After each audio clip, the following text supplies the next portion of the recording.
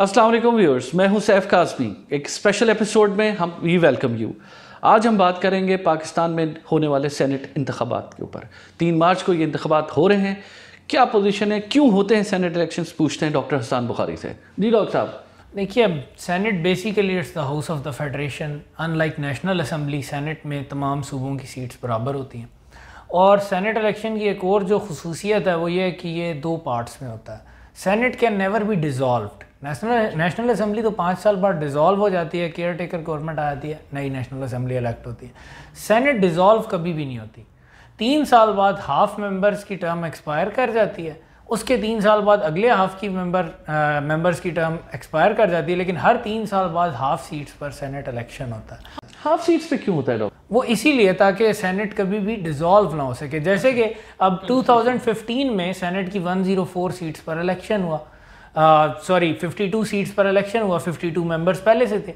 2018 में जो मेंबर्स पहले से थे 2015 में वो उनकी टर्म एक्सपायर होगी और उनकी सीट्स पर दोबारा 2018 में 52 मेंबर्स का इलेक्शन हुआ। अब कितनी सीटों पर हो रहे हैं हाँ इस दफ़ा 48 सीट्स पर हो रहा है। उसकी वजह यह है कि वैसे तो 104 सीट्स थी पहले 23 for each province that totals 92 four seats for federal और एट सीट्स फॉर फाटा तो अब फाटा चूँकि ख़त्म हो गया, उसका इंजमाम हो गया है खैबर पख्तूनख्वा में तो इस वजह से इस दफ़ा सिर्फ़ 48 सीट्स पर इलेक्शन होगा और अल्टीमेटली सेनेट तीन साल बाद 96 मेंबर्स पर शिफ्ट हो जाएगी। जो फाटा के मेम्बरान पहले से थे, उनमें से चार अपनी टर्म पूरी कर चुके, उनकी टर्म पर दोबारा इलेक्शन नहीं होगा उनकी सीट्स पर।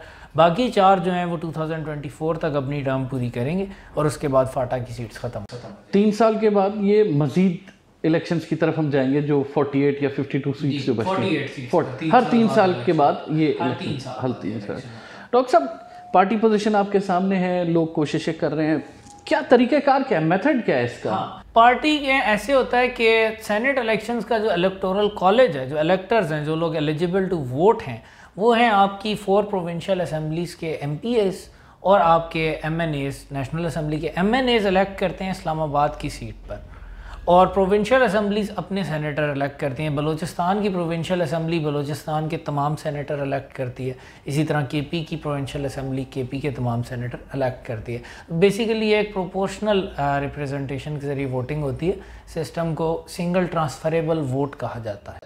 काफ़ी लंबा प्रोसीजर है मेरे ख्याल से जो आप आगे चल के हमें हाँ, बताएँगे भी। है कि बेसिकली होता ऐसे है कि वोटिंग की कई फॉर्म्स हैं। एक तो है first past the post democracy में सारे मेथड्स पाकिस्तान में ये तीनों मेथड्स यूज़ होते हैं जो मैं अभी बताऊँगा। First past the post system use होता है नेशनल असम्बली की जनरल सीट्स पर।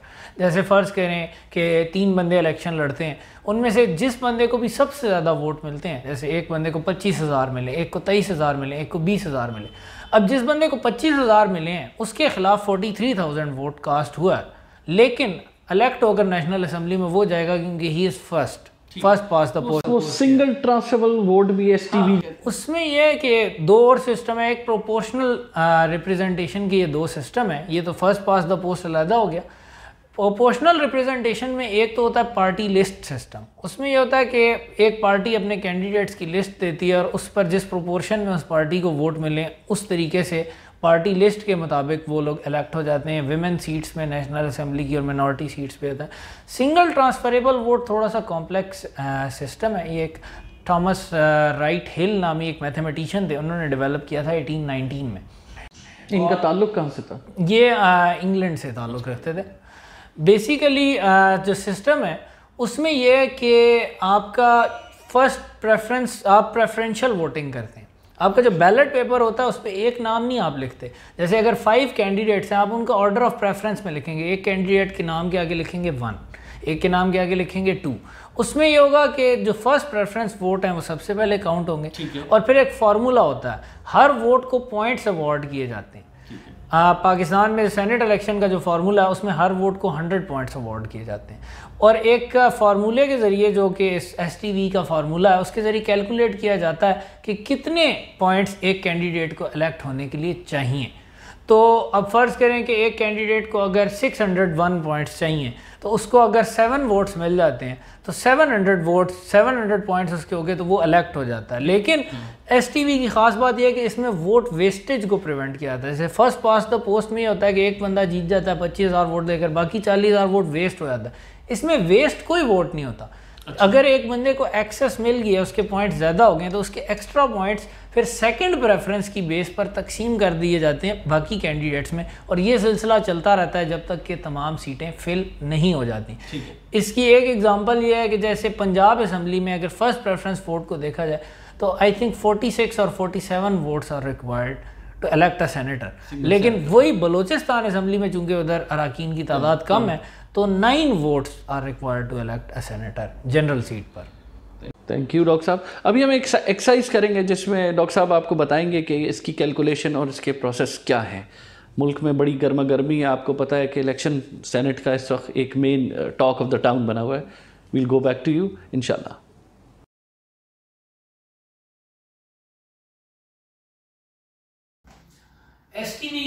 सिंगल ट्रांसफरेबल वोट को एक्सप्लेन करने के लिए हमने एक छोटा सा सिनेरियो मॉक सिनेरियो क्रिएट किया है। इमेजिन कीजिए कि एक ट्रेड यूनियन के 20 मेम्बरान हैं और उन्होंने चूज़ करने हैं अपने तीन रिप्रेजेंटेटिव्स और तीन रिप्रेजेंटेटिव्स को चूज़ वो करेंगे सिंगल ट्रांसफरेबल वोट के तरीके से। और पाँच बंदे इलेक्शन में खड़े हुए हैं। फिरोज साहब, जाकिर साहब, अज़ीज़ साहब, कामरान साहब और जुल्फिकार साहब। अब जो STV का या सिंगल ट्रांसफरेबल वोट का जो फॉर्मूला है, उसका बेसिक एक चीज़ ये है कि एक वोट को पॉइंट्स अलॉट की जाती है। जो इलेक्शन कमीशन सेनेट इलेक्शन में भी फॉर्मूला यूज़ करता है, उसके मुताबिक हर वोट को 100 पॉइंट्स की वैल्यू दी जाती है। तो जो फॉर्मूला है, वो ये है कि number of voters that is जो हमारी एग्जांपल है, उसमें 20 है multiply by 100 divided by number of seats जो कि हमारे सिनेरियो में 3 है प्लस 1 और इसका जो रिज़ल्ट आता है, उसमें वन प्लस किया जाता है। अगर हम इस इक्वेशन को हल करें तो आंसर आता है 501 यानी कि इन कैंडिडेट्स में से जो भी शख्स 501 की फिगर को क्रॉस करेगा, वो इलेक्ट हो जाएगा। तो अगर हम वोट्स की काउंटिंग करें तो उसमें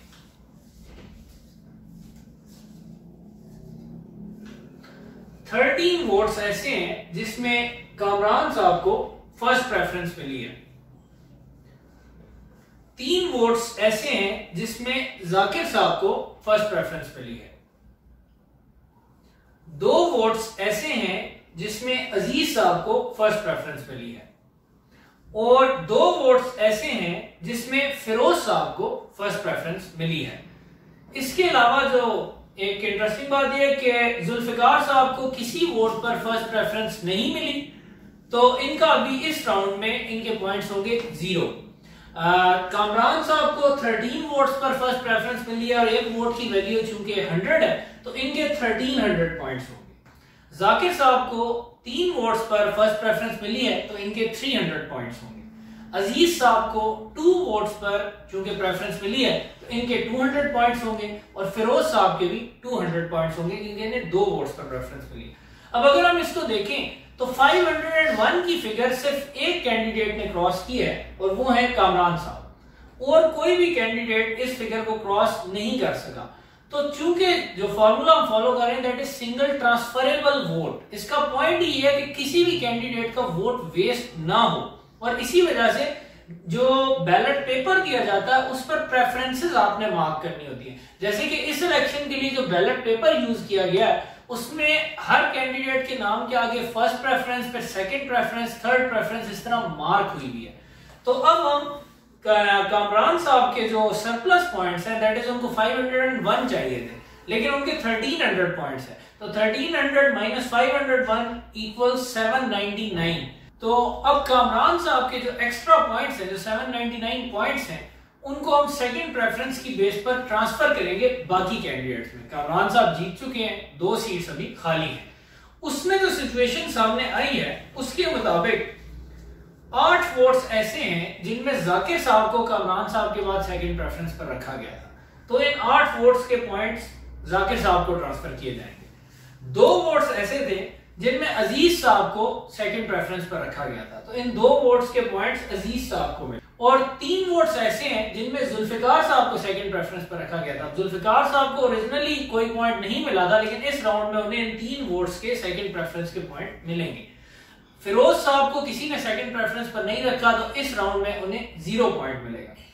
और जो कैलकुलेशन है, अब सेकंड प्रेफरेंस वोट कभी भी फुल वैल्यू पर ट्रांसफ़र नहीं होता। उसकी वैल्यू को डिवाइड किया जाता है, क्योंकि हमने सिर्फ़ 799 पॉइंट्स ही डिस्ट्रीब्यूट करने तो टोटल वोट्स क्योंकि 13 मिले हैं, कामरान साहब को तो 799 को 13 से डिवाइड करेंगे कैलकुलेट करने के लिए कि इन ट्रांसफर्ड वोट्स की वैल्यू क्या होगी? 799 बाय 13 इक्वल 61.46 लेकिन जो इलेक्शन कमीशन का रूल है एसटीवी के लिए, उसमें यह है कि डेसिमल को इग्नोर कर दिया जाता है राउंड ऑफ़ भी नहीं किया जाता।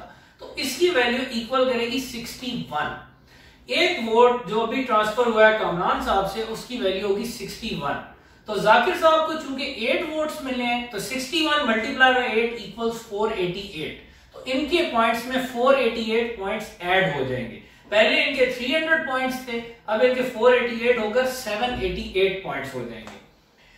अज़ीज़ साहब को दो वोट्स ट्रांसफ़र हुए हैं। उनके 61 मल्टीप्लाई बाय 2 इक्वल्स 122 इनको 122 पॉइंट्स मिलेंगे। पहले से इनके 200 पॉइंट्स थे। तो 200 प्लस 122 इक्वल्स 322 तो इनके 322 पॉइंट्स हो जाए और साहब का पहले ज़ीरो पॉइंट्स थे। अभी उन्हें थ्री वोट्स मिले हैं। 61 वोट 61 पॉइंट्स के साथ।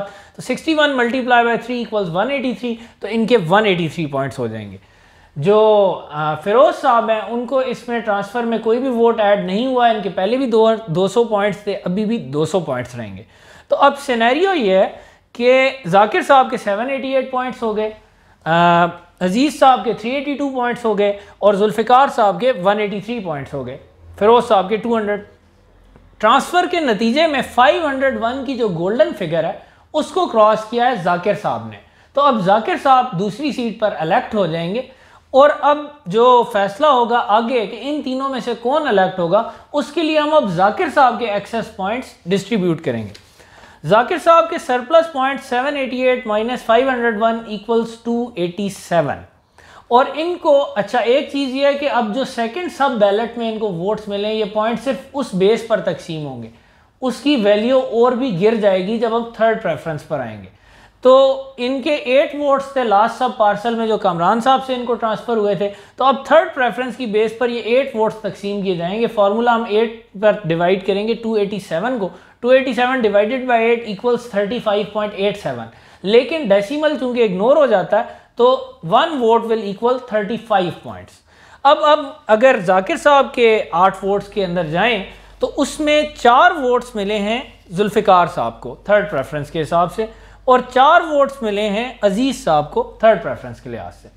तो 35 five multiply by four equals 140 इनके पहले पॉइंट 322 थे, इसमें 140 ऐड हो जाएँगे, ये 462 पर पहुँच जाएँगे।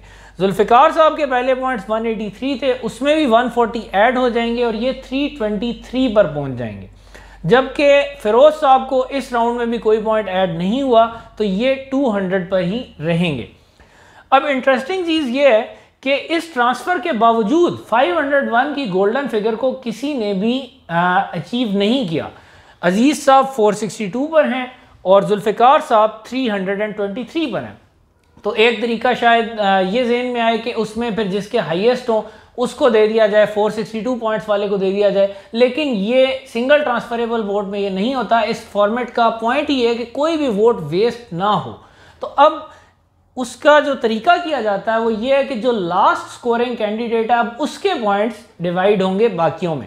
तो इन तीनों कैंडिडेट्स में जो अभी रनिंग में हैं, इनमें सबसे कम पॉइंट्स हैं फिरोज साहब के, जो कि हैं 200 ये 200 पॉइंट्स अब इन दोनों में तकसीम होंगे और ये 200 पॉइंट्स चूँकि फिरोज साहब को फ़र्स्ट प्रेफरेंस पे मिले थे तो ये उसी वैल्यू पर तकसीम होंगे।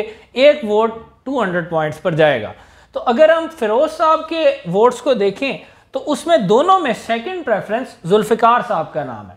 तो जुल्फ़िकार साहब के पहले उनके 323 पॉइंट्स थे, अब उसमें 200 ऐड हो जाएँगे और वो 523 पर आ गए हैं, जबकि कामरान साहब 462 पर ही रह गए हैं।